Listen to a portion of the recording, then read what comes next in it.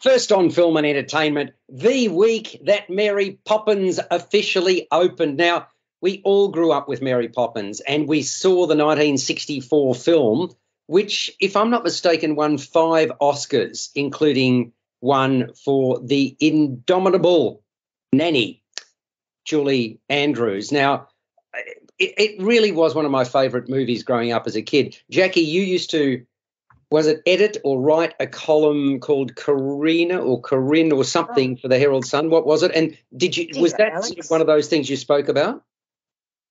I beg your pardon, Corinella. Yes, Corin- Corinella.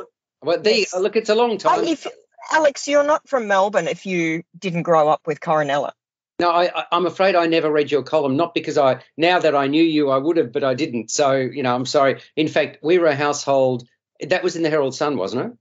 Yes, it was. Actually, yes, it was in the Sun News Pictorial. It actually started in 1923, uh, but I didn't start then. I started, I started a little later. Yeah, well, I don't know. You look pretty good for somebody who's 100 and uh, whatever it is. Uh, uh, th- we were a family that only subscribed to the age. so that's my excuse. And there was no online purchasing of anything and you know way back in the day so anyway there was um, there was no comparable children's page in the age actually. There was one in the Argus, and I think the Argus and the and uh, and the Herald sort of um, ended up with anyway. 1923 it was, and I was the 13th Corinella.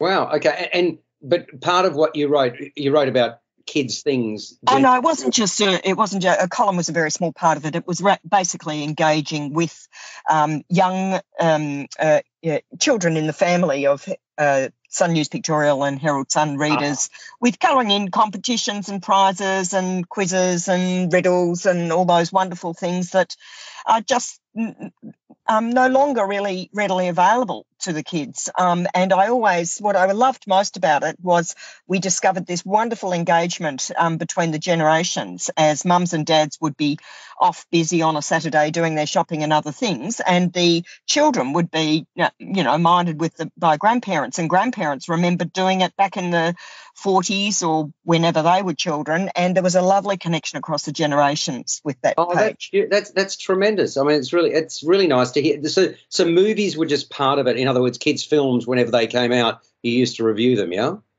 Oh, well, I didn't review them on the page, but we always gave away tickets, and sometimes we actually had private screenings with wonderful people like Marianne Colopy, who would give us their um, private cinema to host a party for the winners of the competitions. Oh, it was wonderful. When I'm getting all, I'm getting all no, no, it's, it. it's terrific now, Alex. No, no, it's terrific to reminisce because I mean, one of one of my favourite, uh, you know, it's funny looking back at it now, but the corner shop. I mean, we we all grew up with Dave. We're, we're sort of dating ourselves, but I mean Peter and Greg, you'd remember the corner shop where kids used to go along, and you know, it, you only used to spend uh, sixpence or whatever it was, and you could get quite a bag full of lollies, and it was one of the highlights. I mean, that, we 7-Eleven doesn't. I mean, you know, I'm not having a go at 7-Eleven, but it doesn't quite uh, mean the same thing, does it? Really? I suppose when you're talking about children and and growing up. I mean, are there corner shops outside schools these days, or not? Anything like it? Uh, yeah, the country town that I spend a, a, fair bit of time in, they still have a corner shop. But I had a corner shop as well. I I grew up in Oakleigh in the seventies and eighties, and oh, did you really? Yeah, oh. and then moved to the country, and yeah, we had a corner shop even when I was in Oakleigh. Oh, uh, and and Peter Kraus, did did you also frequent one of these or not? Oh yeah, I, I did on occasion. Oh, okay. Yeah, less than enthusiastic by the sounds of it. Peter, uh, what about you, Greg? I grew up in a country town, so the corner store didn't, didn't quite exist there. You had the local milk bar and that kind of thing. Oh, okay, fair enough. Well, the reason, obviously, we're talking about all this, we're, we're getting back to Mary Poppins. Jackie, was Mary Poppins part? Because I, I think every generation seems to love Mary Poppins. Was that anything that came up in Corinella? Uh, no recollection. Not, not, that I remember. There was okay. No, but not that I remember. The reason the reason I sort of mention it is because I suppose games and the things that kids play has become far more sophisticated. It didn't take much for us as children to be engaged and entertained. These days, it takes electronic devices in particular if you're going to uh, expose your children to it that early on. Uh, but this is the most wonderful. We'll talk about Mary Poppins later, but it's the most sophisticated Mary Poppins with the magic that was instituted. If any of you have seen Harry Potter, that really took magic to another level in stage shows and stagecraft. This has continued it, and you just go, wow, it was just absolutely extraordinary. Having said all of that, what we're going to do is we are going to start on a brilliant movie, something that I've been really looking forward to talking about because we saw it uh, well before Christmas, and there was an embargo on it. And this week it opened, and it's called The Whale, and it's got me really excited. Probably a film that's excited me more than any other since lockdown. It's M rated, it's 117 minutes, and amongst the things about it that got me excited is the performance by Brendan Fraser. I sincerely hope he wins the Oscar. Uh, I mean, boy, has he come back. And there, there was been there've been a number of articles about him in the papers uh, about what he's you know gone through and so on, which sort of gives gives you a lot of insight. And I'm just delighted to see him in a role that you would never have expected him to to fill. And you, there's been a number of other actors. I mean, just before we talk about the whale, uh, Peter and Greg in particular, and Dave, uh, can you think of other actors that have transposed or disappeared from the the limelight and then suddenly come back with a vengeance? John Travolta, for example, comes to my mind. Uh, uh, Ethan Hawke, um, Colin Farrell, um, Keanu Reeves. They all went and did their time in B grade movies before they came back to the big screen again. Bruce, Will, Bruce Willis a little bit to some extent too. Yeah, well, well whatever. Hap- I'm just trying to think. Whatever happened to Colin Farrell when you say he he disappeared? I, it sort of goes back, and I can't remember exactly what happened there. Because so he, made, he made a couple of big bombs where the films just didn't do well at the box office, and um, suddenly he wasn't finding himself doing Hollywood blockbusters anymore. But he went back and did movies like Seven Psychopaths, and that kind of put him back on track. He was doing more artistic kind of films, but yeah, he had a a bit of a B grade um, straight to DVD time there after. I'm trying to think. There was a big, big blockbuster that he did, and it just bombed, and he couldn't get a role after that. Oh, okay, and, and Bruce Willis. Total Recall, would it? Yeah, that's it. Yep. And, and Bruce Willis, uh, in terms of because he, he he was massive, absolutely huge, huge star. When was his downtime, Greg? When, when he went through that stuff with um a few B grade movies and then sort of things like Look Who's Talking. Ah, uh, yeah. Then he's come back. Then he's come back with through Pulp Fiction. That's that's true too. I, I mean, it, it's funny. If I was thinking about an actor, though, John Travolta is the one that really still stands up in my or stands in my mind as being a, a really good example. Uh, Robert Downey Jr. as well, maybe. Was, yeah, definitely. He was he was untouchable after his um his drug and alcohol problems there for a while, but that was um Ally McBeal, the TV show, kind of put him back on the map. So yeah. I mean, it's great, you know, second chances, all of that sort of stuff. And so, what about uh, Mickey Rourke? And if we're talking about uh, Darren yes. Aronofsky's film uh, The Whale, of course, yep. he also directed The Wrestler. Yep. He did. Yes. There we go. It's it's it's great. Uh, what about any? We've we've mentioned a, a surfeit of males. Any females that we can think of? None immediately comes to my mind, but I'm sure you guys can help out. Jackie, any thoughts there in terms of people that have, have sort of um, done good, then suddenly disappeared from the screen and then re-emerged. We might anyway. well, we go ahead. Going back in the past, Katharine Hepburn is a good example where she was seen as uh, box office poison for a while and eventually was able to come back into cinema. Yeah, yeah, valid. Okay. Uh, in, in more recent times, I don't. Angelina Jolie, we haven't seen. Michelle Rodriguez. Really? When, when did I mean? Well, she but she, she did all of these. Pardon me. She went to jail. Oh, did she? I didn't know that. Okay, right. Yes, there, there, there's certainly that. That is a comeback story.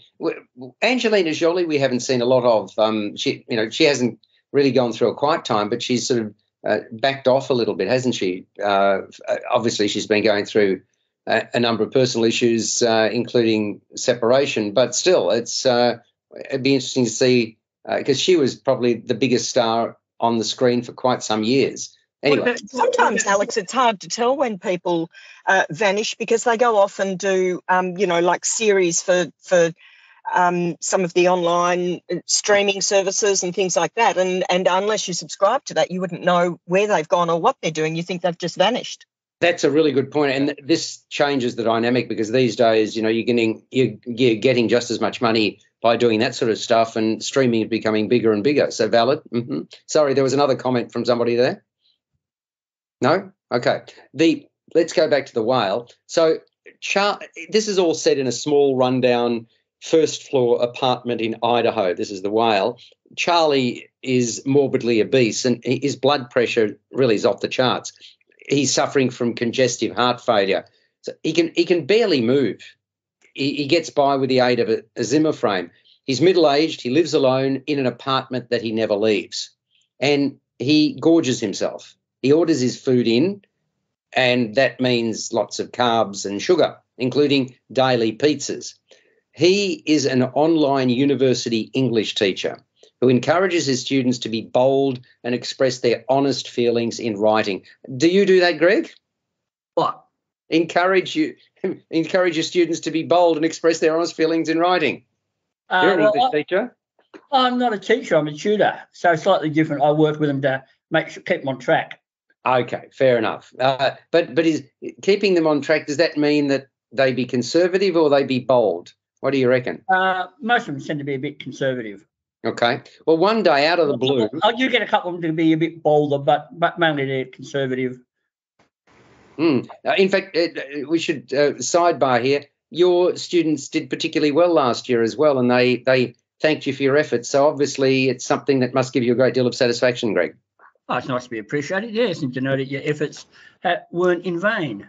But I mean, I, I honestly think that if you get the right teacher in any environment, it can make a huge difference to your standing and, and the way that you know you if you a teacher especially at a young age you're so malleable and you can get somebody who can be an absolute so and so and really set you back on your heels and then somebody who encourages you and it can you know set up the rest of your life. So yeah teaching profession is undervalued at times one day, out of the blue, Charlie is visited by a young Christian missionary called Thomas, played by Ty Simpkins. He arrives just as Charlie's having a severe medical episode, but refuses. He simply refuses Charlie to go to hospital. He claims it's because he has no health insurance, but he relies instead upon daily visits from a friend of his who's a nurse, Liz, played by Hong Chau. She and Charlie both recognize that the end is near for him, notwithstanding her frustration at what, well, is really his intransigence in seeking appropriate medical attention whenever these episodes happen. She does what she can to help him.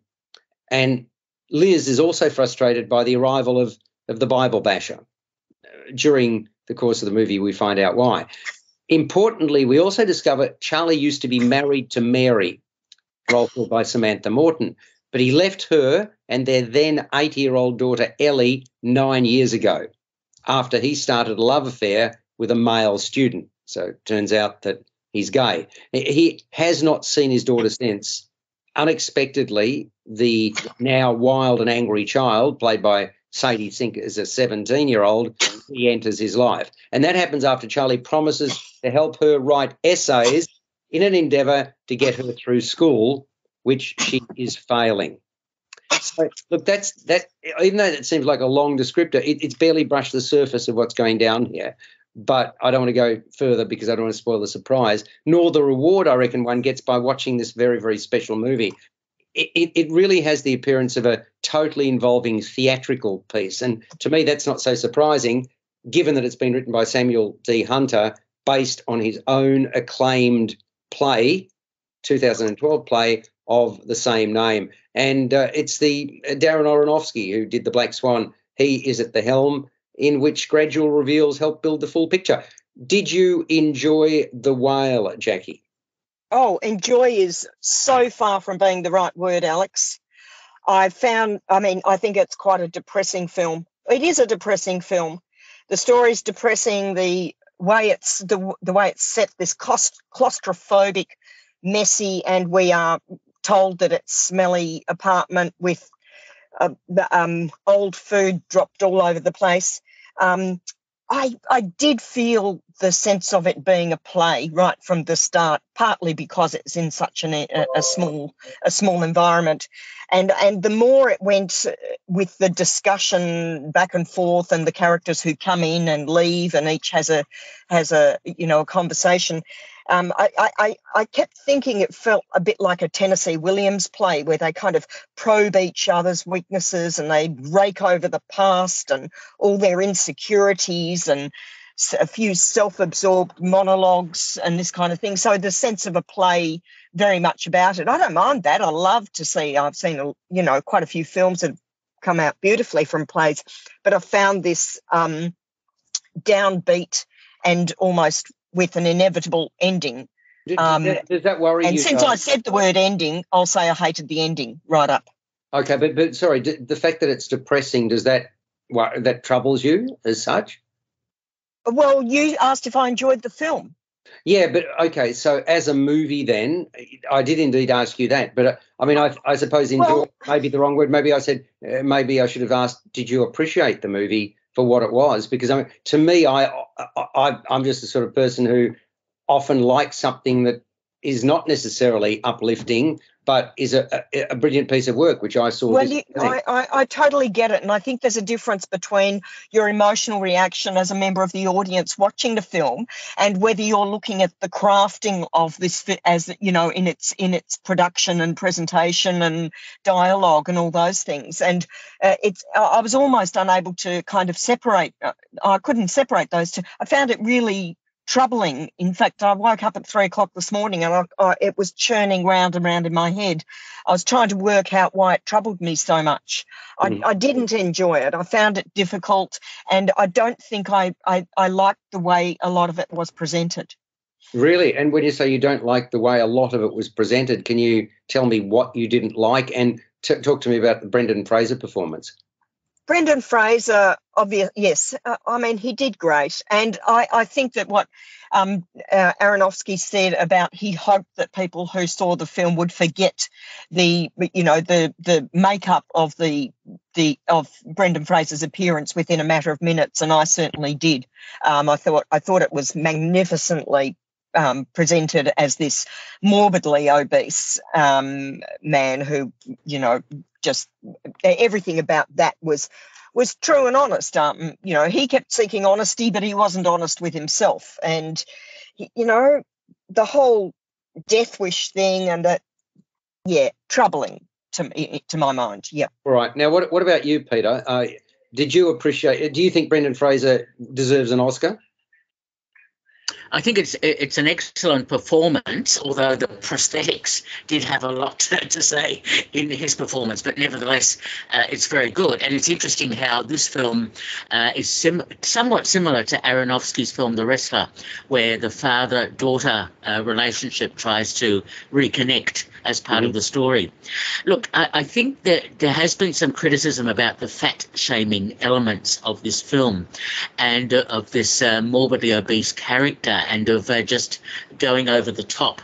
Uh, in many respects. So I, I think I have some issues with this, uh, the story to some extent, especially the symbolic nature of the Christian miss- missionary and the, the nurse who is uh, played by Hong Chau, who uh, tries to connect with him and can't. It's it's almost as if this um, this film needed a little bit more rewriting uh, from the stage play, and also to flesh out maybe a little bit more of the the flashbacks and the fantasy element which comes into the film. I'm I'm still not clear on that because I actually thought the characterizations were tremendous. I I had absolutely no issues with any of it. So what when what were your issues that they were exaggerated personas or what? Well, certainly the Christian missionary was an exaggerated persona, and, and uh, even though there is a revelation in there, it, it, it it doesn't quite fit in there because I'm just trying to think what the redemptive process is about having that character in there, and and uh, having the nurse there who is pretty much there just to uh, sympathise and not able to do anything. I thought, yeah, that it's a device which uh, creates more of affection for the for the lead character. I, I, I just felt that there were some elements elements to the film that didn't quite hang together for me. What about you, Greg? I haven't seen this one yet. Ah, okay, fair enough. Uh, open canvas for for when you do, Dave. Oh look, this film blew me away. I I love the screenplay. I thought it was a a brilliant screenplay in that Aronofsky had twists and turns and there. I know so many people who are going to see this film that that just are going to see it because of Brendan Fraser in a fat suit.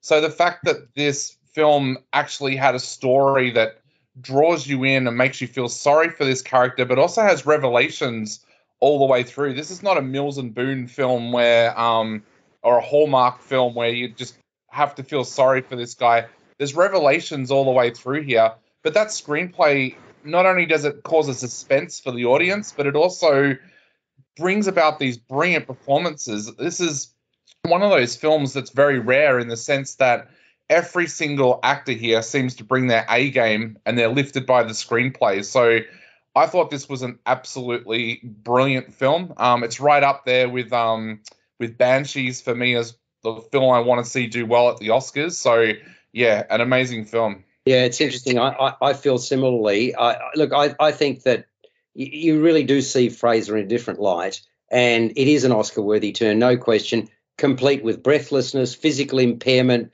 desperation, stoicism. Uh, let's be honest, he's repugnant and also alluring as Charlie, and that is the sign of a brilliant actor, somebody who can pull that off. I, I thought Sadie Sink, if we talk specifics, she was mesmerizing as this sort of vitriolic, estranged daughter, Dave, massive chip on her shoulders, and and that delivery, her delivery, nothing short of astounding. Each barb hits its mark with, to me, remarkable clarity and conviction. She's got talent in spades. I really long to see what she does next. Definitely. yeah, that's one of the amazing things about this film. Quite often you'll go and see a film and there'll be one or two standout performances. This is one of those films where Brendan Fraser, um, Sadie Sink, Ty Simpkins, Hong Chau, they're all brilliant in their roles. Absolutely. Well, Hong Chau recently she captivated audiences with that no holds barred performance in the menu, and and now here she be, bring, backs it up again, doesn't she? Another look at me showing such a rounded and accomplished actor seems to have a fine understanding of the human condition, and and in this case, in equal measure, she's well, she's got desperation, she's got anger, she's got love, understanding, and acceptance to, to the persona that she has here. And I, I agree, Ty Simpkins, he readily, to me, channeled the dichotomy that's the hallmark of the, the Christian zealot with more than a skeleton or two in the closet. And that's that's his his part. So the intense character focus, uh, I reckon, part of part of the the beauty of this is Matthew Libatique's cinematography. Uh, it greatly be- benefits the production the way he sort of uh, focuses in on the characters and and it's almost like the lens itself become it, it's a window to the world. Uh, it's a window to the souls of the characters. And that that again really stood out to me. I thought it was a f- film of rare quality worked its way into my psyche as only the fine, finest of movies and offerings like this can. And i see it as must see material. It deserves to be heavily feted in the the upcoming Oscars. Uh, you know, whether Alex, just, I have a question for you. Please. Have you have you seen it a second time, or will you see it a second time? I haven't uh, simply because I've been too busy. Would I? Absolutely, no question at, at all. And I reckon, look, I I took I soaked it all in. I, I, I took it all in and thought, wow. And it is one of those movies that I would like to see a second time. I you know I, I'm not sure how. I think it it deserves to win. Uh, from recollection, it's got uh, Hong Hong Cho Hong Chau has an Oscar nomination, does she not? As does Brendan Fraser. Both of them deserve to win. They're no, in my estimation. But I, I, I would put money on Brendan Fraser. I really would. I think he he really is extraordinary in this. So let's get some scores. Dave, you and I are going to be the high watermarks here. So let's let's uh, go. Let's start with uh, let's start with you, Jackie. Where where did you? Okay, well, I well in talking of performances, I thought some of them were overblown and repetitive in the actions and things like that. But that that didn't get to me. I did like some of the lovely language in the tutoring he was giving uh, in the Zoom calls. If you if you actually listen to what he was saying, I thought it was beautifully beautifully put. Um, but in the end, I couldn't feel empathy with this character, and as I say, I found the film disturbing. It troubled me. I ended up giving it seven out of ten. Mm-hmm. Okay, and Peter. Yes, I agree with Jackie. I'm not as convinced by the uh, the writing of the film uh, as uh, some others are, and uh, uh, I mean Brendan Fraser's performance, yes, top notch. Uh, he may win the Oscar. We'll see. I give the film seven out of ten. Mm. And again, it's just the way we've, we've all spoken about it. Ex- exactly divided along those lines. Dave, you and I are going to get very high marks for this. Where did you see it? Yeah, look, the, I probably the only way I can describe how much I love this film was I went out and bought the screenplay. Um, they're not cheap to buy, so yeah. Look, I'm giving it the magic ten. I really did love this film. I, I've been back and seen it again, and I'm hoping to see it again this weekend. So yeah, just an amazing film.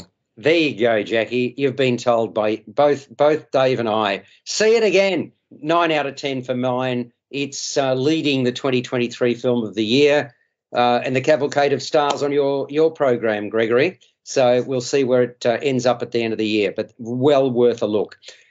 On J Air 88 FM, what's love got to do with it? Well, a great deal, I reckon. Let's uh, let's have a look at this. Jemima Khan, former wife of the Pakistani cricket captain and politician Imran, has written a cross-cultural romantic comedy, 109 minutes, M rated, and you've got Lily James in the role of Zoe, award-winning documentary filmmaker whose choices in men have been less than satisfactory, shall we say.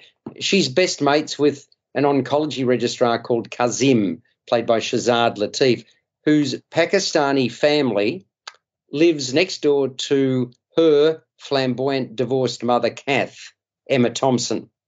So Zoe and Kazim even sneak off together to the tree house in his backyard, where he enjoys a forbidden smoke although there is clearly a closeness between them, they're good mates, say for his first kiss when they were both kids, when they kissed one another, romantically they have not connected. And then one day he announces to her that he'll enter an arranged marriage, although in modern parlance, I, I, I had not heard this term. It's an assisted marriage. Is that, by the way, is that a term you're familiar with? Assisted marriage? Any of you? Had you heard that no. Okay. So maybe maybe it's just our our age that we we know them as arranged marriages. But anyway, while taken aback, Kazim cites to Zoe the divorce rate in Britain.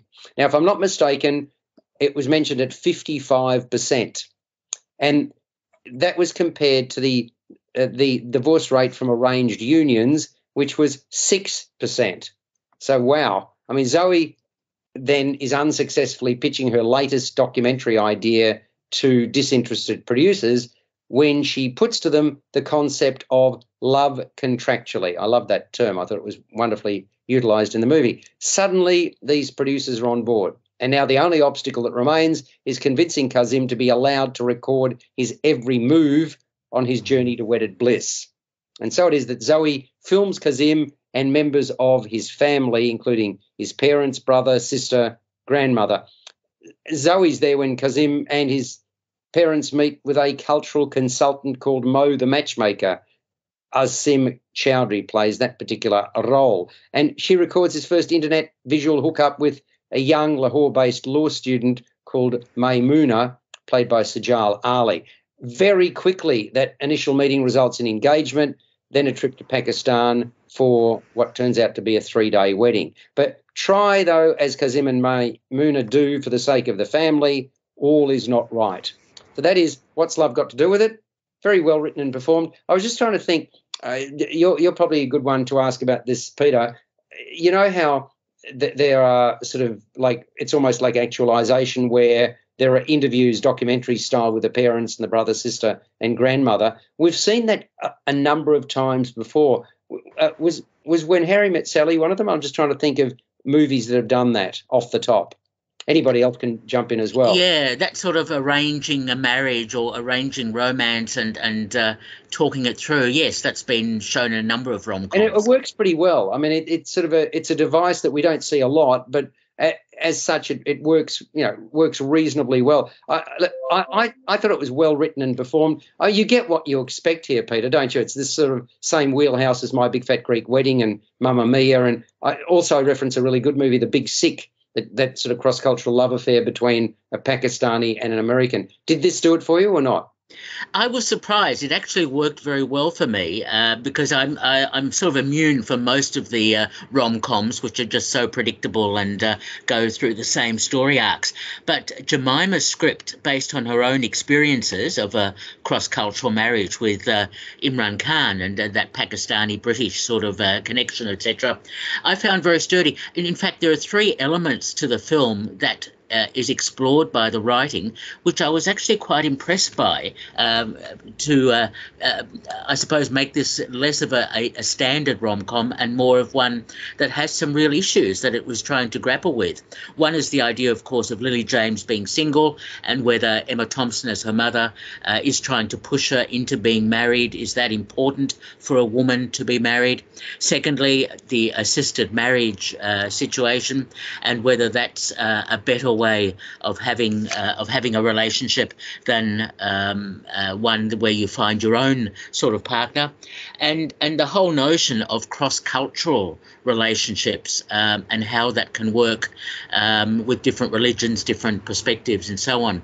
Uh, look, I, I, found it very sturdy, and and Lily James playing the filmmaker, I thought how interesting that was to interpolate that uh, her career into the whole notion of her exploring her life and of the life of of uh, the Pakistani man. So, uh, man, so uh, I actually quite like the film, uh, and it's also interesting to note the title uh, was used in 1993, of course, for the Tina Turner biopic yeah. that, that starred Angela Bassett. So it's used here in a, um, a, a very much more interesting sort of way, I thought. Mm, well, I mean, I thought again, you've got a couple of scene stealers in a movie that is really extremely colourful. The wedding scenes are terrific. Uh, you, have got you know, the wedding scenes in Pakistan, cavalcade of colour and finery. Obviously, Emma Thompson splashes out. She really immerses herself into that sort of larger than life persona with wanton abandon, and she's sort of loud and hardly tactful as Zoe's mum, who does want her daughter to find Mr. Right. So that I don't suppose it's different to any other parent, but uh, she she's she really is given many choice lines and doesn't waste any of them. But Greg, the other one that really st- stood out to me, the poker-faced Pakiza Baig, who's cast as Zahid's Tell It Like It Is grandmother, Nanny Jan. I, I mean, what a hoot. Whenever she's captured on film, this sort of deadpan expression, what a contrast to the role that I've just mentioned before for Emma Thompson. Uh, and I also like the um, matchmaker um, in his small cameo there. I thought he was quite droll and funny as well. But I agree that this is sort of a cross-cultural romantic comedy. Um, it's from Working Title, who make all these kind of romantic comedies like Love Actually and the Bridget Joneses series. And so it taps into that sort of audience straight away. I like the um, all the cultural references there. You've got a bit of a flavour for Pakistan there. I thought those Pakistan sequences were full of colour. There's some fabulous costumes there, um, nice production design, and a couple of superbly choreographed Bollywood style dance sequences. And I thought this gave us a vibrant sense of place and culture there. And I thought Nitin Sawhney in his score add, further added to the flavour of the film. Um, and I thought Lily James brought warmth and also a vulnerability and a hint of insecurity to her performance as Zoe, who's actually a likable protagonist here. Um, Latif exuded charm, and I thought the two had a wonderful, easygoing chemistry, and their relationship seemed unforced and very natural there. I like Emma Thompson in a role that seems tailor made for her. As you said, she sort of enjoyed herself here and um, cut loose a few times there. Um, and I did like um, the couple who played um, Kazim's devoted parents, Shabana Azmi and Jeff Mirza. I thought they brought a sort of dignity to the, role as well. Um, I thought it was um, a good time at the cinema, but a little bit formulaic. I knew where these was headed from the word go. Um, and even though I enjoyed it while I was on the screen, I found it fairly easy to forget once I walked out of the cinema. I mean, this is really feel good entertainment. It, it should, I, reckon, it will attract an appreciative audience. And yes, you're right. Of course, Oh, there's no doubt about where it'll end up. But you're Lily James, really charming. Shazad Latif, epitome of dignified. And you've mentioned the parents. Yeah, I mean, they're clearly proud of their son. They remain keen to make. They, they remain keen to maintain a tradition, and and there, there's nothing wrong with that, is there, Jackie?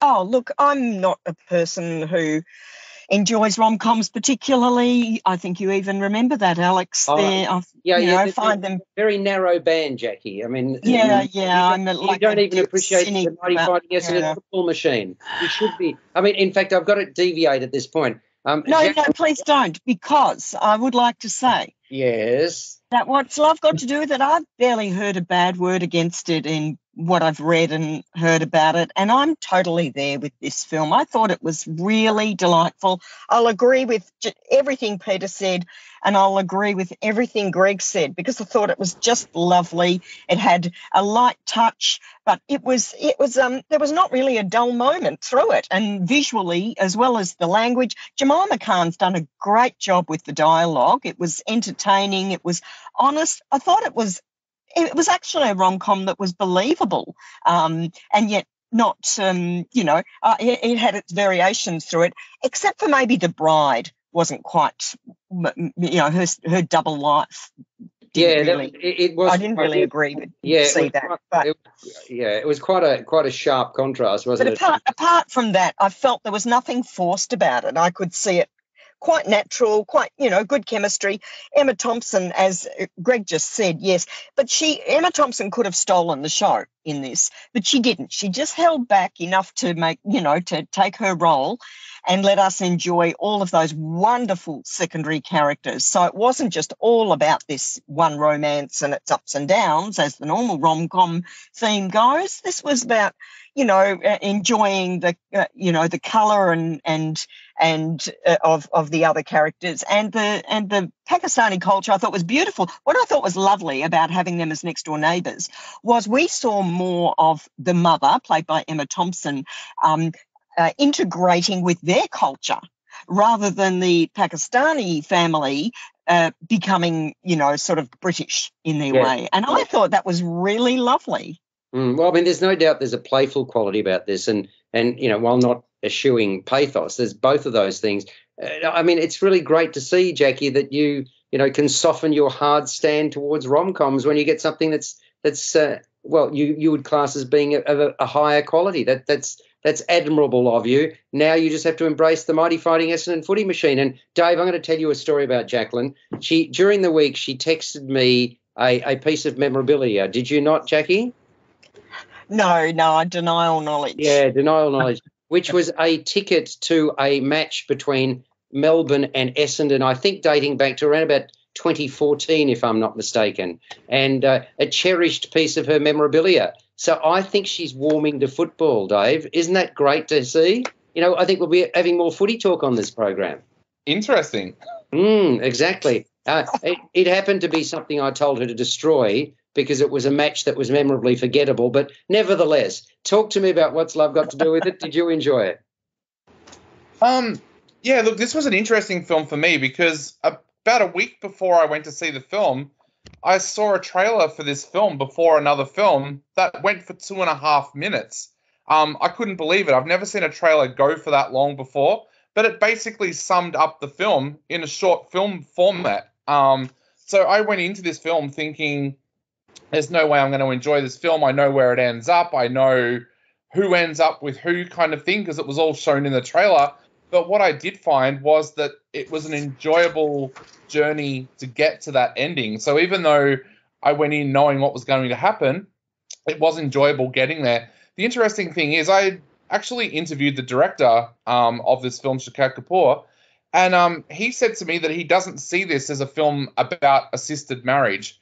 He meant for this to be a film about love and the different ways that people get there. And I almost felt during the interview that he kind of gets offended when people say that this is a film about arranged marriage because for him, it, as he said, it's a love letter about love.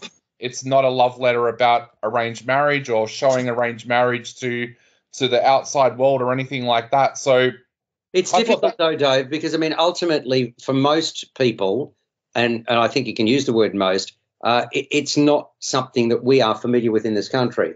I, I mean, Right. maybe the Jewish community, absolutely. Um, I get that. That that the, quite a number of the the Jewish community is aware of it, but the broader community, it's not something that's commonplace. Obviously, if you you're born in a particular part of the world and you move here and so forth. So, uh, I mean, I understand what what the director's saying, but you know, it, it's it's also to me the figures that I cited at the start of this conversation are quite noteworthy because six percent of arranged unions end in divorce apparently in the UK. That's incredibly low because we know the divorce rate in the Western world is very very high. So you know, even though it might not be something that uh, off the bat you and I would favour, uh, it clearly has still has a place even in 2023.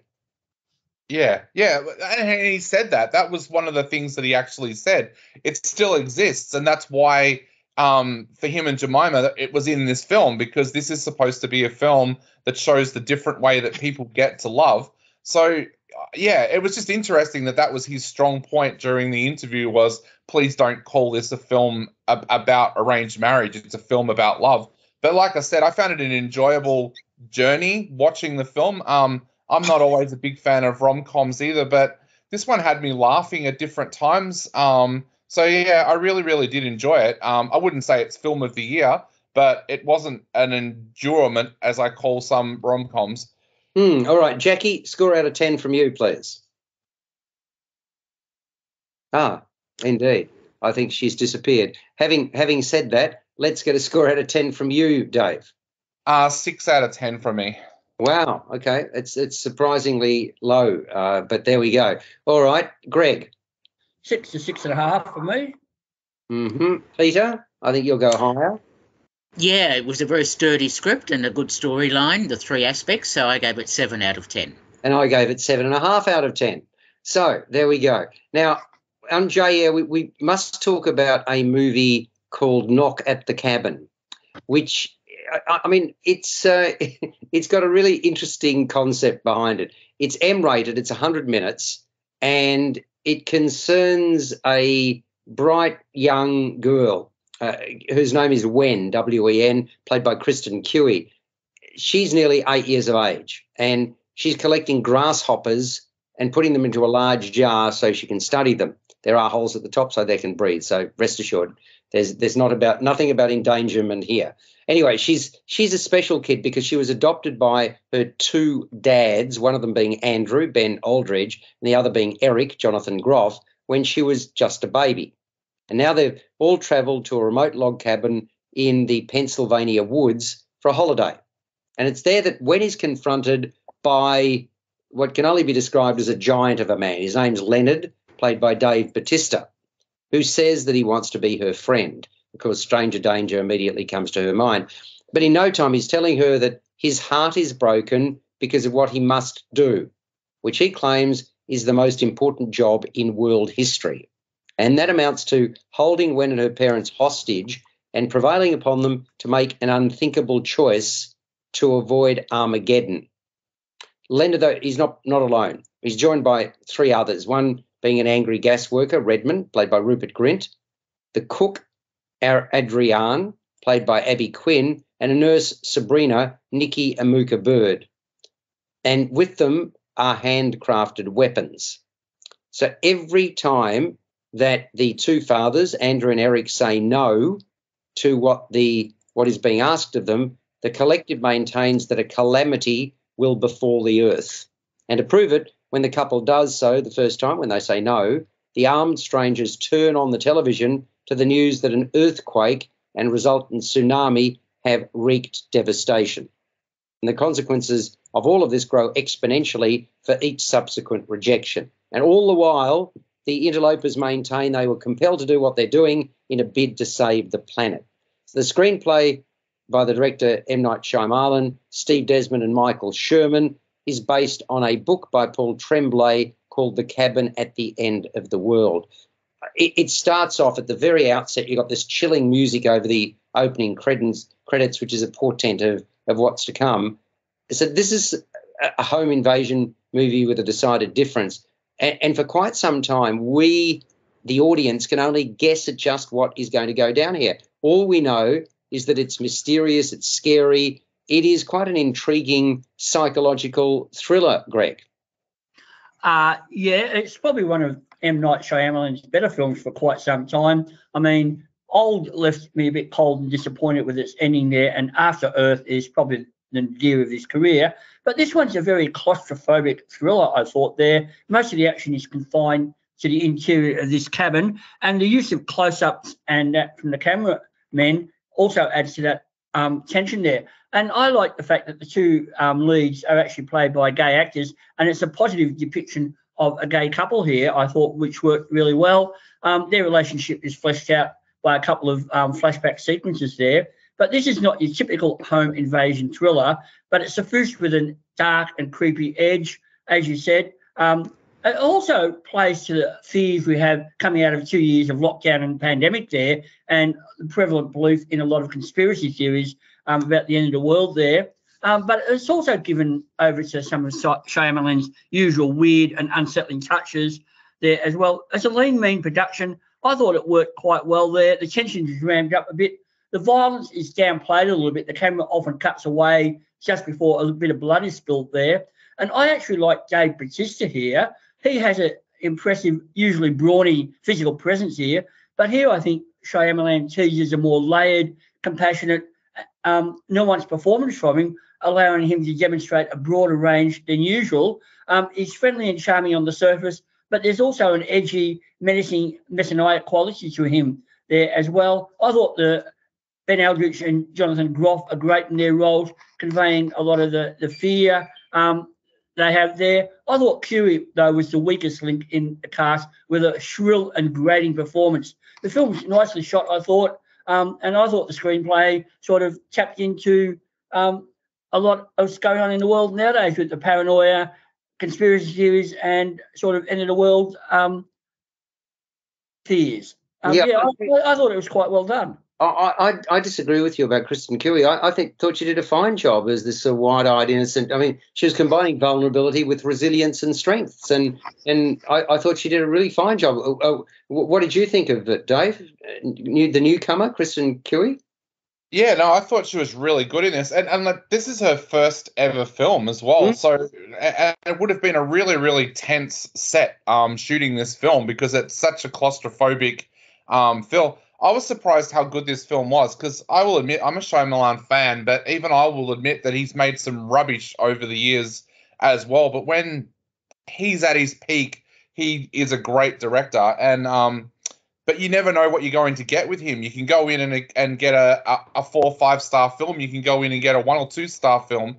So I was pleasantly surprised by this film. I loved that opening sequence where it was um where it was just when out in the woods doing a childlike thing, and all of a sudden you have this man monster in Leonard um, coming up to her. I thought that scene was really really good, and I think one of the things that we've seen over the last couple of years is Dave Bautista's not like The Rock or John Cena. He comes from that wrestling background, but you can actually give him a character to work with, um, and he'll do it. And it's interesting. I was reading the other day that apparently he's um, going to be doing a play um, in New York very, very soon. So he's really coming into his own as an actor now as well, and he can carry a film like this and and do such a remarkable job. He's not just a a presence like The Rock is um, in a film. It's interesting. I just googled him.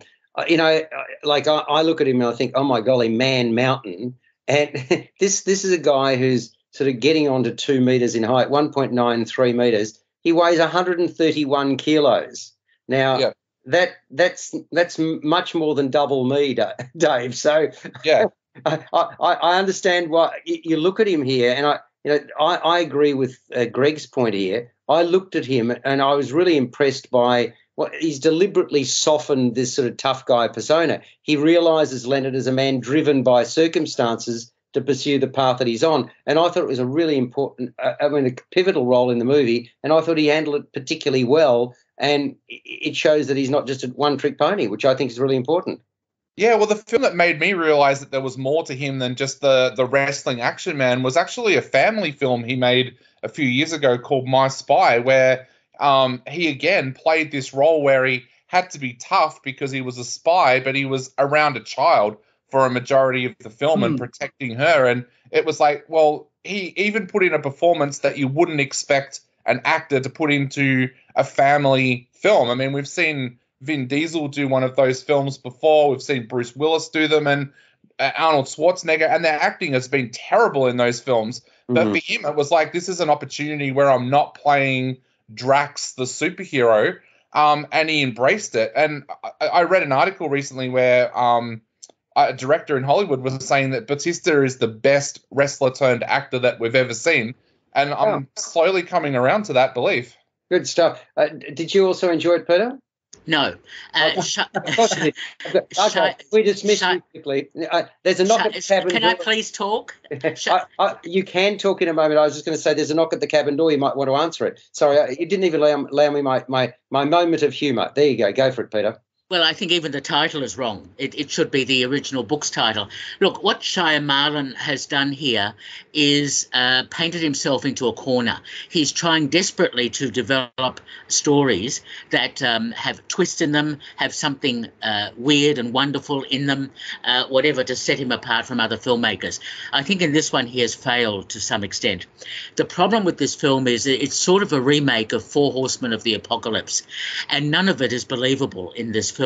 I mean, this idea of being entreated by whom to talk about the end of the world, to have a gay couple, which I think is actually uh, a terrible choice because it, there is some some subtext here about why a gay couple.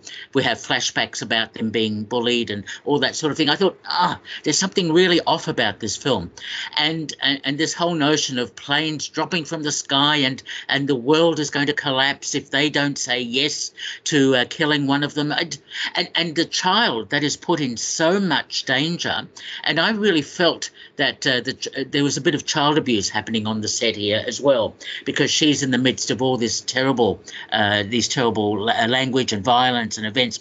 Look uh, there's a lot to uh, dislike about this film. I was not impressed. I would have liked a much better storyline and explanation for it all. So no uh, knock, knock at the uh, What are you uh, cabin. out- doesn't work for me it at all. What are you giving it out of 10? okay I, I barely give it barely give it five out of ten. Wow. Okay, Greg?